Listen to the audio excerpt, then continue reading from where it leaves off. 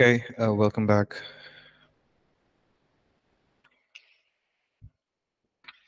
Right, we are the fifth uh, point. The fifth reason is looking at uh, why ministering in healing and deliverance is important, right? There are eight biblical reasons, and we are on the fifth one. And the fifth point says the importance Jesus gave to miracles. Uh, now, this we are going to look in more detail of this particular point in chapter three. Okay, the the chapter three is titled "The Father's Works." so we'll look at, at that in detail, but then uh, we'll go through just of it. So we read John chapter 5, verse 31 to 36 in the previous session, isn't it? We closed uh, the session with that. so what was happening in the chapter? What was Jesus saying? Any idea? John chapter 5, verse 31 to 36.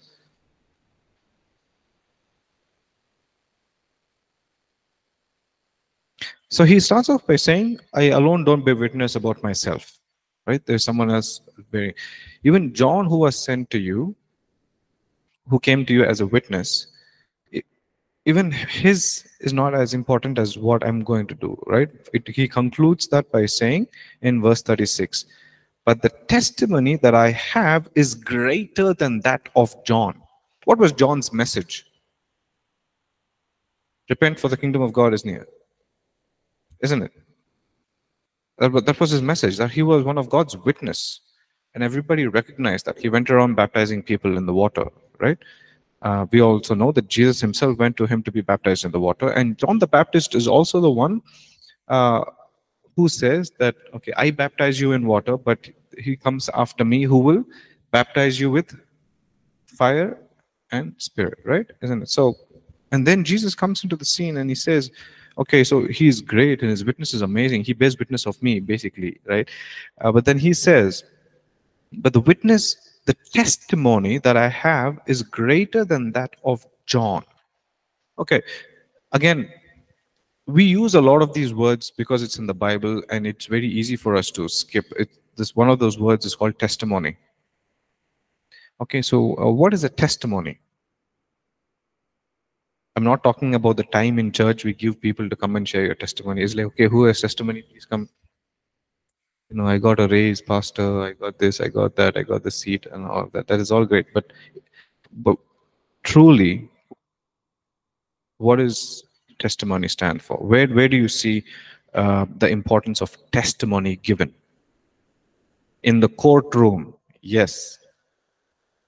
Okay, so sorry joseph i'm gonna keep taking your example because right in front of me right so joseph has been accused of something theft he stole something this example okay joseph and so you're in one side of the court you know all the court scene no that happens but on the other side is the witness isn't it i bear testimony of joseph I am going to say, no, he didn't do it. That's the testimony. Isn't it? Now in Revelation, we see what is the spirit of prophecy is the testimony of Jesus. We've complicated the prophetic a lot, but prophetic is very simple. Prophecy is what?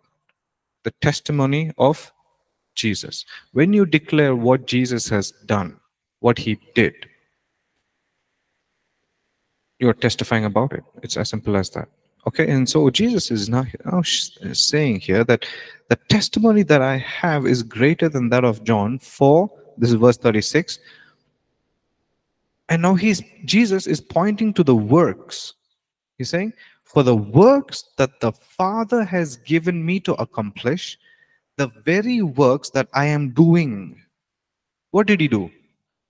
Heal the sick, cleanse the lepers, raise the dead, Okay, so Jesus is pointing to the works, to the miracles, signs, and wonders that he was doing as more important.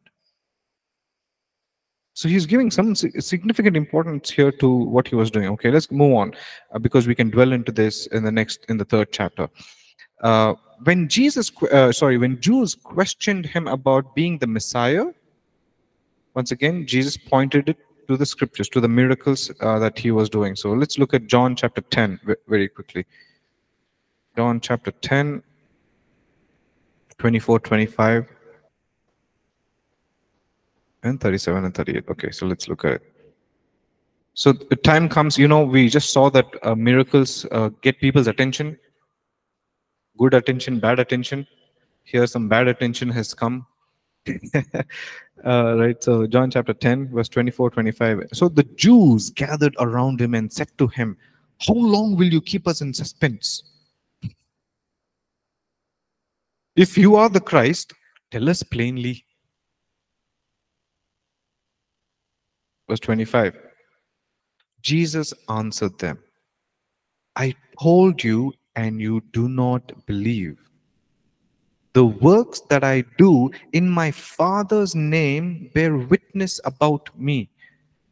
So, what Jesus is saying is that my Christship, my sonship, who I am, my identity, that I am the Son of God, is seen and shown and displayed and demonstrated and manifested in the works that I am doing. What is the works? Heal the sick, cleanse the lepers, raise the dead, etc. Yep. Are you all with me? So Jesus gave significant importance to the ministry of healing and deliverance. Okay, let's move on. The sixth reason is the kingdom comes with power. Kingdom comes with power. Okay. Uh,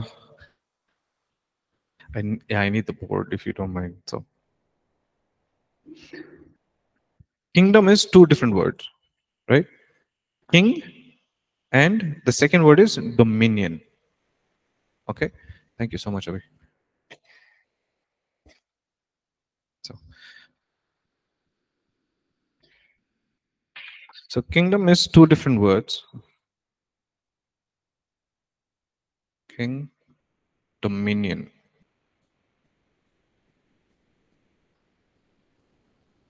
Okay, so when we say that this is what kingdom is.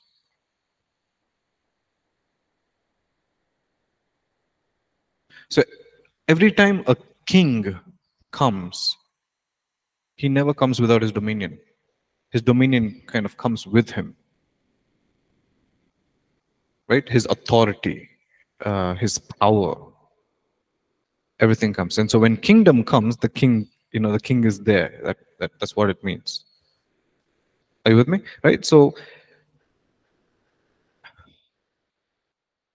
a little bit about spiritual warfare very quickly and we'll move on okay? Spiritual warfare why i'm saying that is because there are two kingdoms at war right now. There are two kingdoms at war. What are the kingdoms? Kingdom of god and kingdom of satan. Yes thank you. Okay there's no don't okay the kingdom of god and the kingdom of the devil. That's what it is. Okay there are two kingdoms at conflict. Okay um uh, i'm not going to use india as an example because everything will become very controversial right now. So, so let me just go very far out and say australia. Okay uh, australia and let's say say new zealand. Okay sorry guys new zealand australia. I have nothing personal against you. I love you guys. Okay so the country of Australia and the country of New Zealand, let's say, for example, and I, uh, I pray to God that it never happens. Uh, let's say they are at war, okay? They are at war. They are two different kingdoms at war, okay? And so as soon as the two different countries are at war, that whole country, the whole country is declared to be in a state of war the whole country of Australia is declared to be in a state of war. Now, it doesn't matter that if you are an Australian and if you are not in an in the army of you know in the Australian army, it doesn't matter if you are in the army. If you are born in Australia, if you identify yourself as an Australian, that means you are at war. Understood? You don't have to be in the army, soldier carrying the gun, nothing just because there are two kingdoms at war and this country has been declared as the state in state of war you can just be a normal usual citizen common citizen common man woman but you're at war. Why I'm saying all of this is as soon as you say that you are a believer of Lord Jesus Christ, you're part of a kingdom that is in a state of war with the other kingdom of the devil. That means you are at war. Okay, we just can't sit back, relax, and enjoy the service. You know, we have to wake up to the reality that we are at um, at war. Okay, so uh, let's look at what Jesus had to teach about it. So Jesus came and he introduced, uh, you know, he's introducing in, in his ministry that he preached the gospel of the kingdom. In Matthew chapter 4 or 17, Matthew chapter 4, Matt, the whole chapter of Matthew, uh, Matthew chapter 4. So he's preaching the gospel, he's talking about the kingdom of God, and then in doing so, he healed the sick, cast out devils, and he worked miracles. Okay? So when the kingdom of God invades, everything beautiful, everything wonderful, everything powerful, is in the kingdom of God.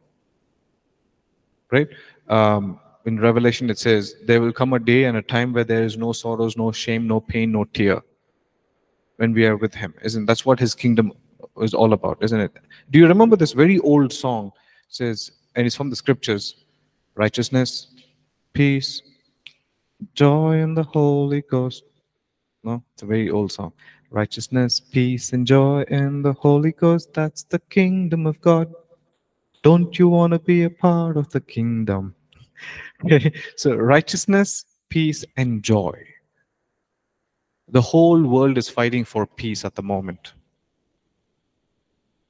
isn't it? Um, so much of unrest. Um, joy is very different from happy.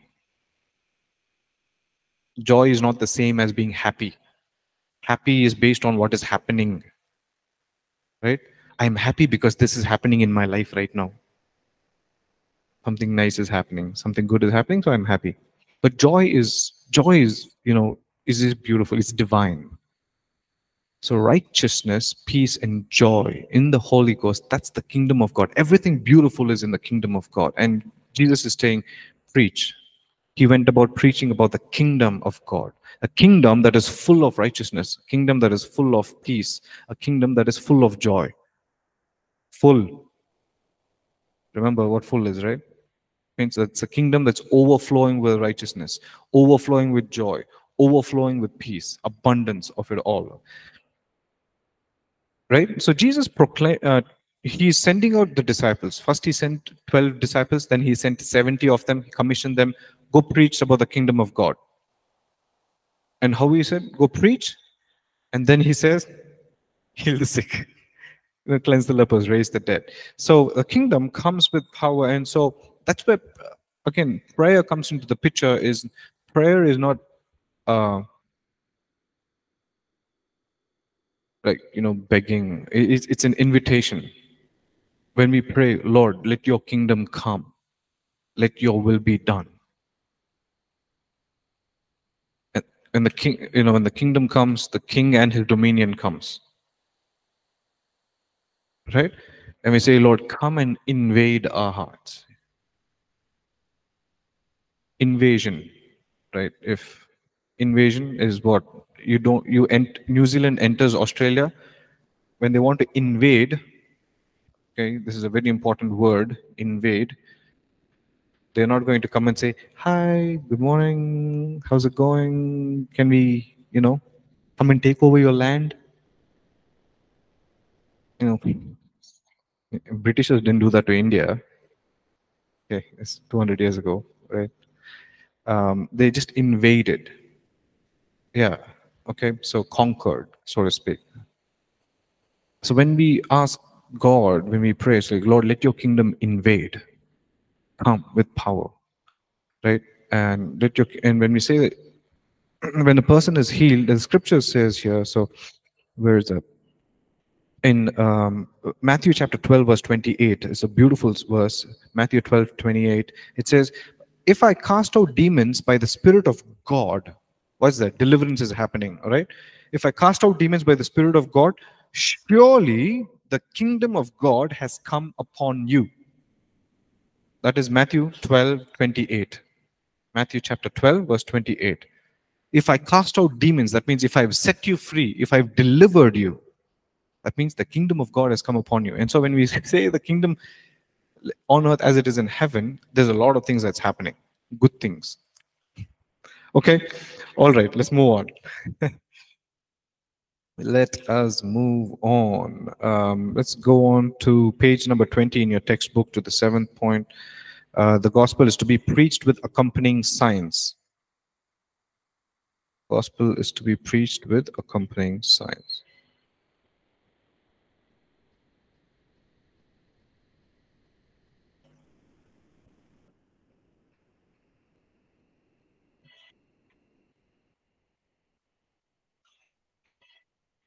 Page 13 in your PDFs.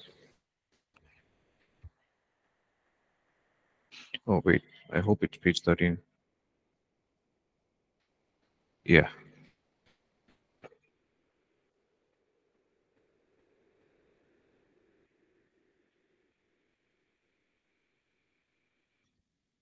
All right, guys, just another disclaimer, a reminder that uh, as we are using, um, you know, the the publication of ministering healing and deliverance uh, as a course content material um, so that doesn't mean i'm going to be going page by page for some most of the times i will do that but there will and i will also be skipping a lot of pages you know if i feel that the content is uh, on not it's not not necessary everything is important but um, but I, I will be skipping pages, okay, and points. So don't think like, oh, how can you skip this one? Okay, just trust me. All right, uh, point seven, uh, the gospel is to be preached with accompanying signs. Uh, John 3, verse 1 and 2. There was a man of the Pharisee named Nicodemus, a ruler of the Jews. This man came to Jesus by night and said to him, Rabbi, we know that you are a teacher come from God. For no one can do these signs that you do unless God is with him. So, see the connection between teacher and signs. Right? Jesus was preaching, teaching, and whatever he preached and taught was accompanied with signs and wonders. He just didn't preach, he just didn't teach. Okay? Uh, Acts chapter 2, verse 22. Acts 2, verse 22. Uh, Men of Israel, hear these words Jesus of Nazareth, a man attested by God to you by miracles, wonders, and signs which God did through him in your midst, as you yourself also saw. Our ministry at this point, in a nutshell, is that you're preaching, that's great. You're called to be an evangelist, that is awesome. You're called to be a pastor, amazing. Right? You're called to be a missionary, wonderful. While you preach, while you teach, let your ministry be accompanied with signs and wonders. Are you with me? Right. In the next section, we are going to address this point as to why we don't move in signs and wonders. Um, you know, one of the reason is that we've left it all out to just a few people okay oh i don't have to do in this that pastor will take care of that we'll get to that point okay we'll cross that bridge when we get there um, so the gospel is to be preached with accompanying signs and finally the, the eighth biblical reason as to why uh, ministering healing and deliverance is important is miracles encourage people to believe for more of the supernatural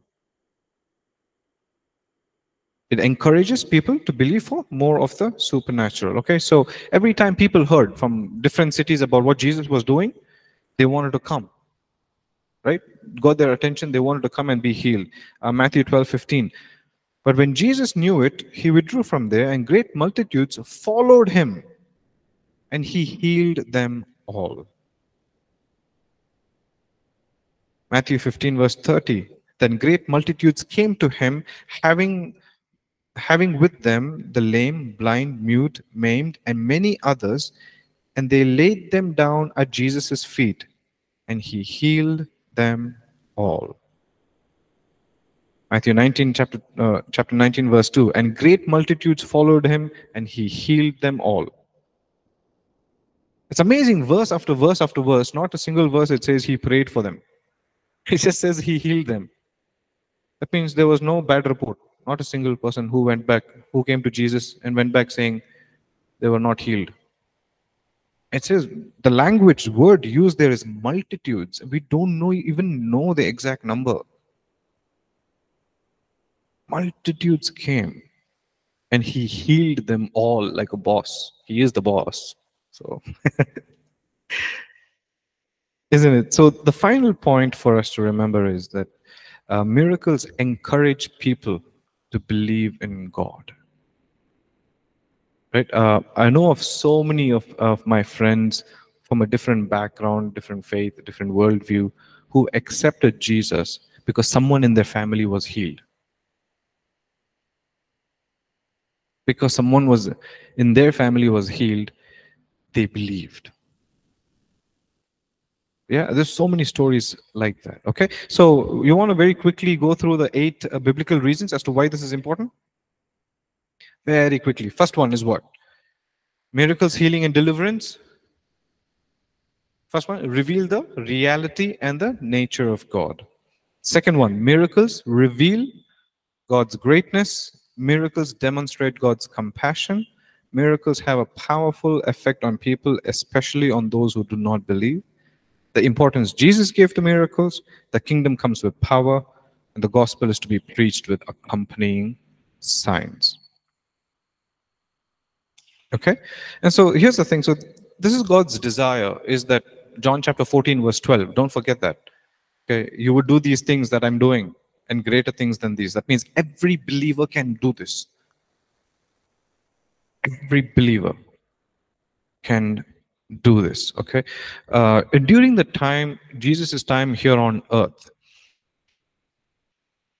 he was fully god fully man yes that means he was in his identity he was the son of god and when we say that he was fully man that means he was in his earthly form he was not omnipresent he had to be limited to to be in one place Yes, and uh, he was not om uh, omnipotent.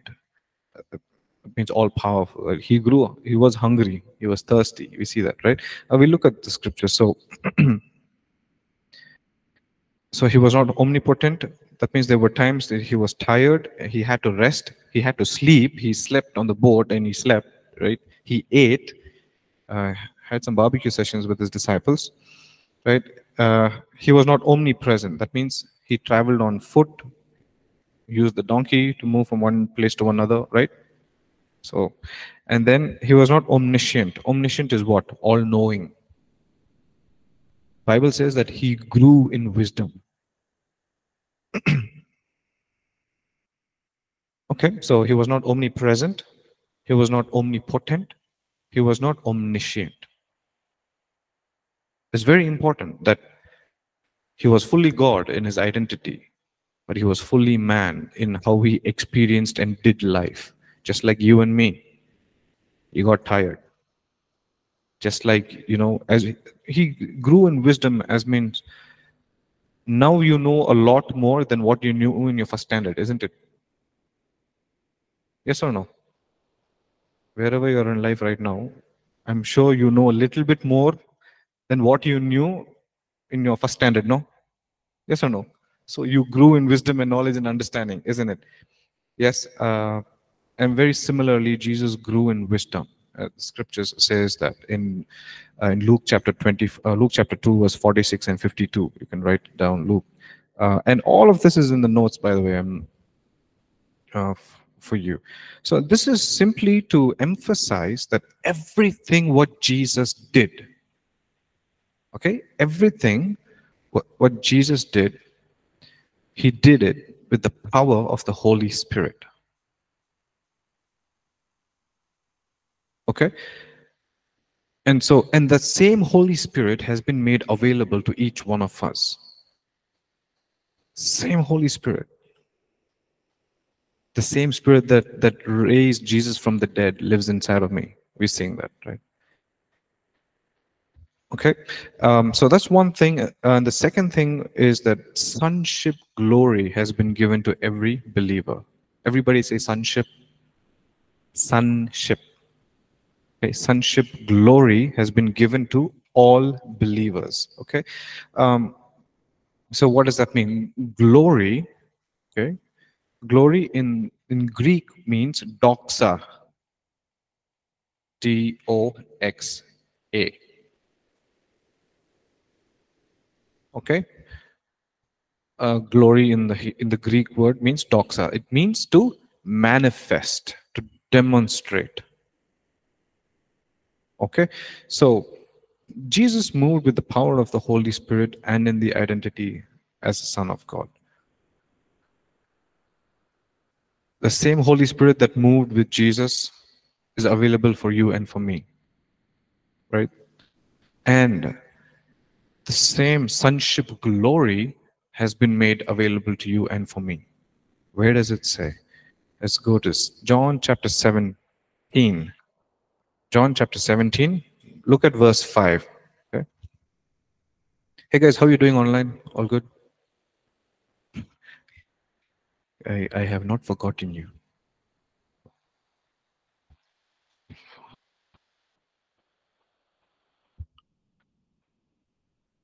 Okay.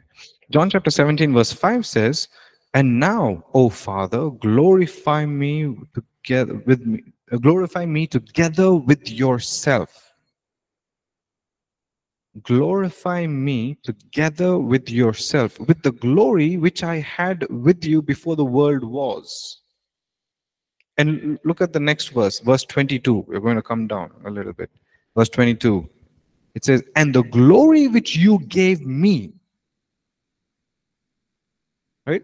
And the glory which you gave me, I have given them. Who's the them? The believers. That's you and me. right? He's talking about the same sonship glory, this identity. It's okay. I hope we realize what we've been given. I hope you and me realize, just realize, take time, 10 seconds at least, to realize are you telling me I have the same Holy Spirit that Jesus moved in?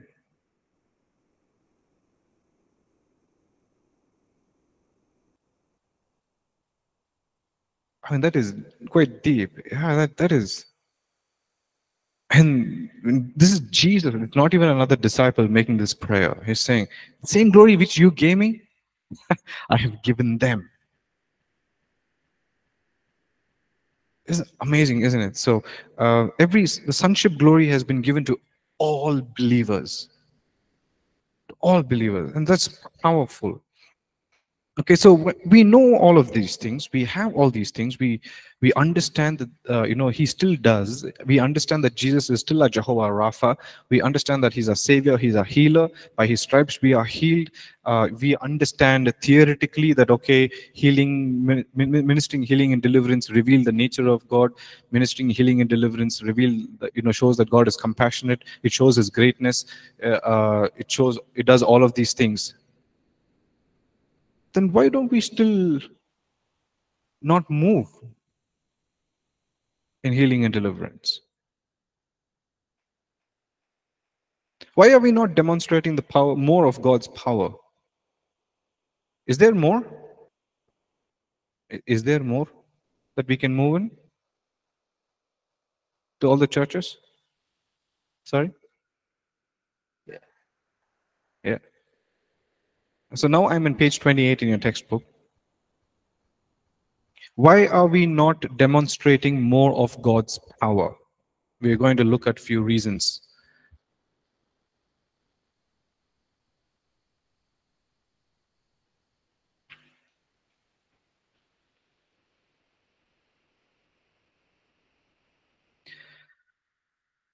So some of the reasons that's listed out in this section is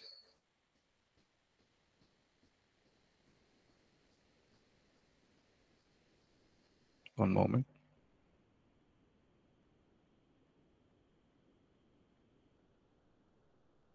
Bottom of page 18 in the PDF. See, I have not forgotten you, for I have carved. No. Okay. One of the reasons, first for the first reason is lack of knowledge. Why are we not demonstrating more of God's power? Lack of knowledge.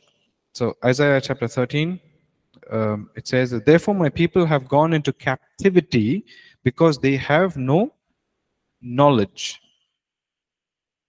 Hosea chapter 4 verse 6 a says, My people are destroyed for lack of knowledge. So lack of knowledge of God, that means what? We don't know enough about we don't know enough about God. We don't know that He's our Father who wants to heal us. Right? Sometimes we make statements like, you know, I think I am sick because God wants me, God is trying to teach me something. Have you come across people like that? I think I am going through this, I'm I'm having this sickness in my life because God wants to teach me something. And same people will go meet the doctor also because they want to get better. So if God is trying to teach you something, and if you believe that, why you want to get better by going to the doctor? Okay, so what's happening there? Lack of knowledge. Okay, a lack of knowledge is what led people into captivity. What is captivity? That means New Zealand came and captured people of Australia. Now the people of Australia are in captivity. Okay, uh, I mean, they are in chains, they are in bondage. People of Israel were in bondage and slavery. They were in captivity for 400 years by the Egyptians, isn't it? Uh, that means they had no freedom. They could not make a decision for themselves. So if you're anybody who is in captive, you do not have freedom. You don't have a right to make a decision for yourself. Okay, so now in the physical we may not be in captivity but in the spiritual we might be uh, under the oppression you know we can go through certain phases and seasons in life uh, where we've given uh, authority to, to, the to the devil and for whatever reason and he's held you captive to a certain practice or addiction or whatever it is and you feel oppressed by it. Uh, why again you believe you continue to be, be oppressed because you don't know that jesus can set you free lack of knowledge right? So one of the reasons why we are not moving or demonstrating more of god's power number one is lack of knowledge. Second reason is wrong teaching concerning the supernatural wrong teaching okay one simple point is that most of them there are teachings that goes on to say that healings has been stopped. When the last apostle john died that's when everything stopped. So uh, you know we uh, there's teachings on what is called as a cessationism uh, etc right? Uh, bible is uh, bible times is not for it's not for today they did not have medical help back then so that's why signs healings and wonders happened so now we have all the medical help so we don't need it right uh, it only happens according to God's sovereign will, so we cannot do much with our faith. The supernatural will make you spooky. Stay away if, if you want to be normal. So all these kinds of wrong teachings, uh, you know, has stopped the church from demonstrating more of God's power. Okay, that's the second point. And the third point, uh, what we looked at a little while ago, is leaving the miracle ministry reserved for an elite few. Okay, wrong, guys. Wrong, wrong, wrong, wrong, wrong. Every believer can do this. Amen. Every believer can do this. Right? So you don't just leave the responsibility only to the senior pastor. Okay, only senior pastor can move in this thing. Only the missionary, only the evangelist, uh, you know, and so on and so on. No, every believer, whoever believes, you've been given the sonship glory. You have the same Holy Spirit. So what are you waiting for? Okay, um, that's another reason why uh, there is not enough demonstration of the power of God being displayed. Um, number four, replacing the supernatural with modern substitute. Sanjay, I see your point. so, okay, um, replacing the supernatural with modern substitutes. So, uh, what is modern substitutes? Good music, lights, bigger stages, bigger auditoriums. All of that is good. Good music, very important. Trust me. Okay, uh, good music is very important. Uh, good programs, uh, you know, um, equipments, all of that is very important. Uh, and but that cannot be substituted with the power of God, right? And then also there is apologetics. Uh, there's a subject called apologetics for you guys or second years? I, am not sure. Second years, okay. Um, so apologetics without power uh, is not going to be very effective. Okay. So replacing the supernatural with modern substitutes, unwilling to press in till we see more of his power displayed. Unwilling to press in. That means just getting a little bit more desperate for God. Okay, um, I'm going to find you. I'm, i want to find you. I want more of you. I want to be filled uh, with you right? I want more of you.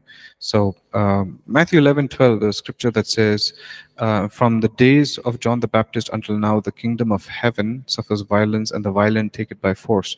So he's simply saying that uh, there are not people who are hungry enough uh, for more of God. Okay. I see Warren, I see your hands raised. Do you want to ask a question or something? Yeah, if you don't mind, can I just ask you something? Sure. Uh, you know, when we the, the point that you made, leaving uh, sorry, leaving the miracle ministry reserved for an elite few. Uh, but doesn't it also say in in in the Bible that you know there are there are people who are being given specific ministries for like prophesying and for things like that?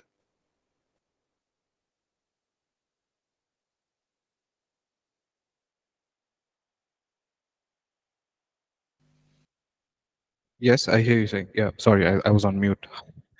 yeah. Yes, Warren. So thank you for the question. Um, so I, you are referring to the scriptures in Ephesians, Ephesians chapter four, I, I think twenty-three, if I'm not mistaken. Um, so when you look at the scripture, uh, it so it says, you know, to the church, he gave some to be prophets, teachers, pastors, um, etc. And then it goes on to say, they were given to the church for the equipping of the saints, so the saints can do the work of the kingdom. Okay, so when you look at that verse, so here's the thing, right? We looked at from from the first session, uh, we looked at that Jesus preached, isn't it? That he taught. So in preaching and in teaching, he also did signs and wonders. And so what we look at the word and what is consistent with the word is that in any ministry that you are called for, so I mean, you might have a heart for a children ministry or youth ministry or teenagers or worship ministry, whatever, right? Um, all of that ministry is still the work of God isn't it? It's not a different Jesus in youth ministry. It's not a different Jesus in children ministry. It is all the same Jesus that we preach and teach, isn't it? And so, um, and while we do that, uh, you know, we we are still uh, encouraged to move in power to demonstrate, you know, uh, healing signs and wonders. So um, that is what I believe in, and uh, and because, as in for me, the standard is Jesus. Uh, so I, I, I don't know. I hope that answers your question. Yes, it does. Thank you. Yeah, Warren. Okay, so uh, unwilling to present, that was number five. Um, other roadblocks to the supernatural, number six is um, not stepping out in faith. Uh, not stepping out in faith. So uh, again, remember we are in the section, why are we not demonstrating more of God's power? Uh, the sixth point states uh, other roadblocks or hindrances or challenges to the supernatural. One of them is not stepping out in risk. Okay, that's how I felt spell uh, faith is risk, R-I-S-K. Uh, is we're not willing to take the risk. Now, the reason can be anything, isn't it? It could be like because of your past experiences. You've prayed for someone and the person hasn't been healed. And so you give up okay uh, or you've had some terrible experiences in the past and that is stopping you from pursuing to minister in healing and deliverance. That's one of the roadblocks. Uh, I, I, know of a testimony of a, a preacher a teacher and who also uh, uh, moves in the supernatural. Um, and he's very well known. I, I don't want to use the name um, he's very well known in the christian circle among the healing ministry. He's very prominent uh, he does a lot of this street evangelism. And while even talking about Jesus on the streets, one of the ways he does it is by demonstrating the power of God. Uh, you know, incredible, uh, incredible stories. Uh, it's all caught and like, and now he said that for him to see his first healing or miracle, uh, he had to pray for about 90 odd people he had to pray for uh, 90 odd people for him to see the first person being healed. A lot of people have been healed since then. But imagine if that person had stopped after praying for 10 people. I prayed for 10 people. Uh, it's not going to happen. I feel like giving up.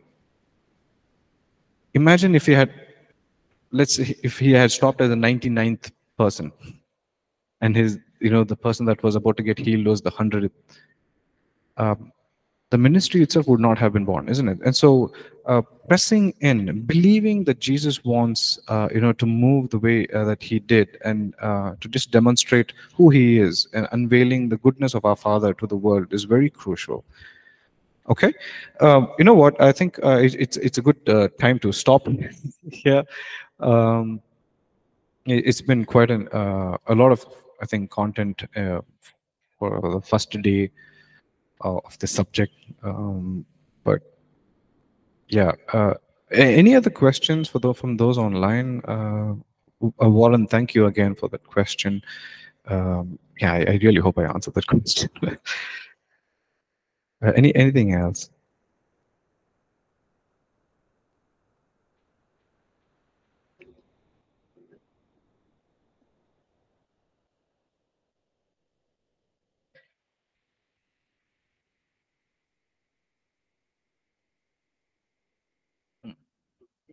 It could vary, absolutely, yeah.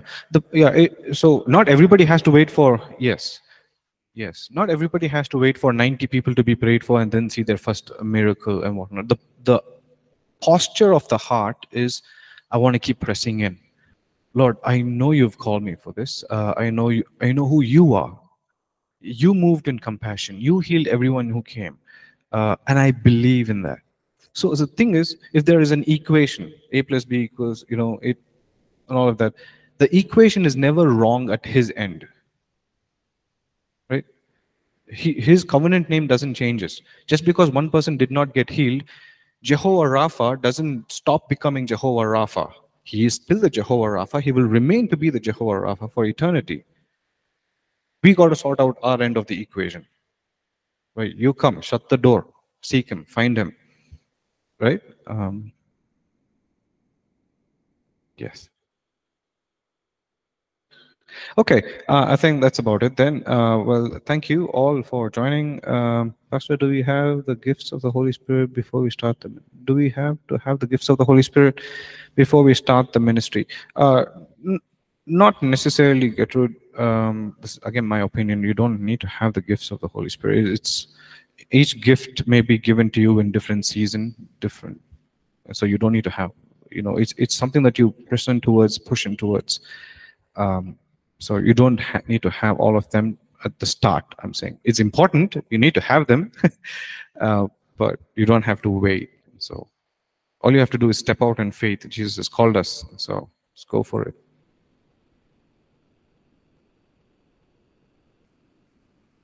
Yeah, the, yeah.